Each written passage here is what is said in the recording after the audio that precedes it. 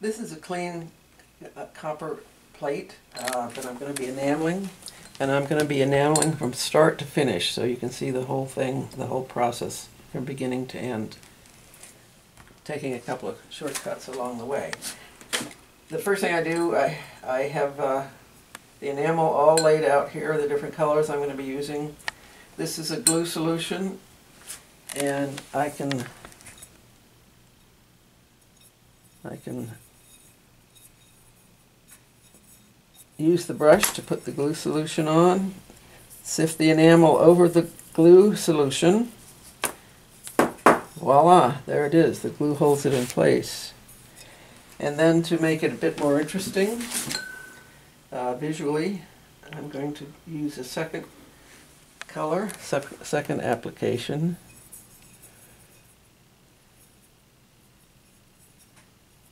Brush the glue on. Sift the second color on.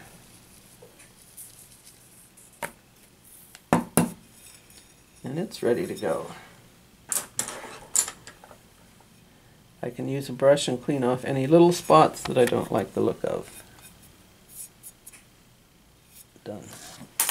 Alright, now I'm ready to do the, uh, the overall coats. I'm going to use, I've used two colors here for the design. I'm going to use two colors now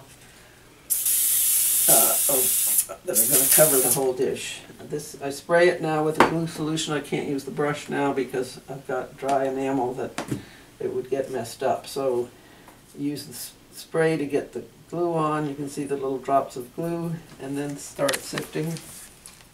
See the little drops of glue and then sift the color on. The uh, you have to spray it between applications of color because you want the glue solution uh, mixed so that all the enamel is, is damped damp with the glue. You don't want it running, but, but you want it damp.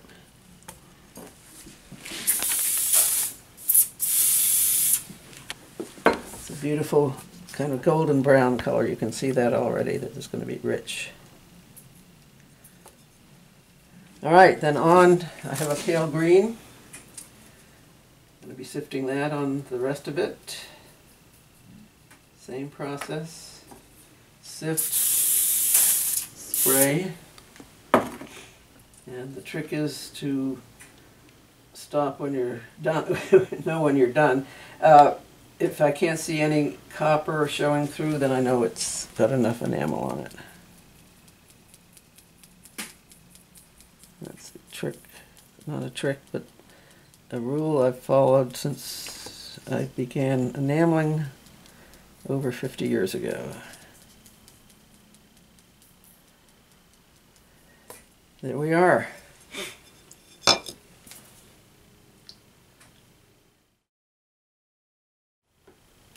Here's the piece. It's on a little mesh rack, steel mesh rack.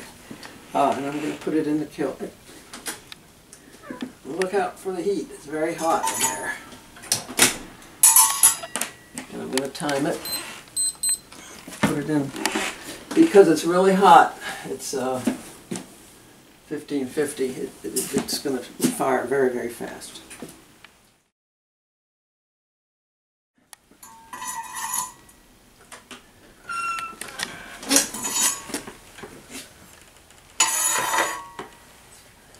very hot. Can, and it's fun to watch it cool. The colors will come up much better as it cools.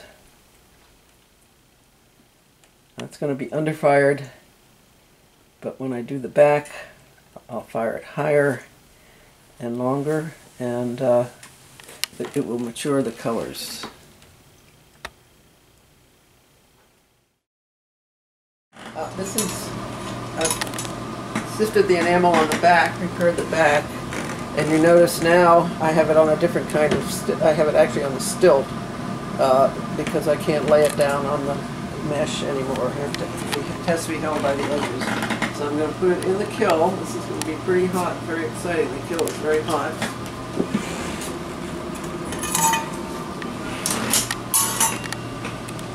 Timer, always the timer.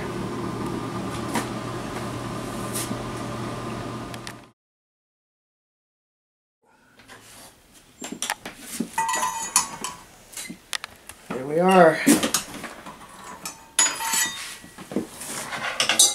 I'll let it cool a bit. And then I'll lift it off. There we go. And then let's watch it cool.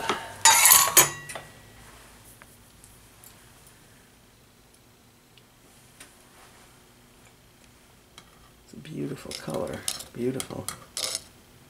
This one.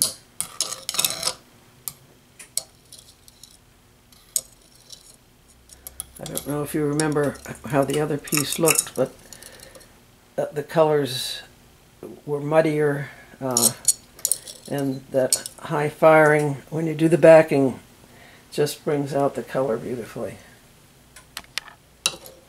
Ensures it.